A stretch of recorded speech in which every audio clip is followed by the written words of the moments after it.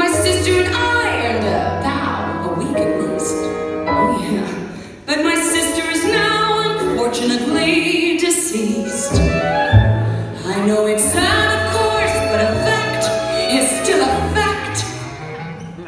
And now all that remains is the remains of a perfect double act. Watch this.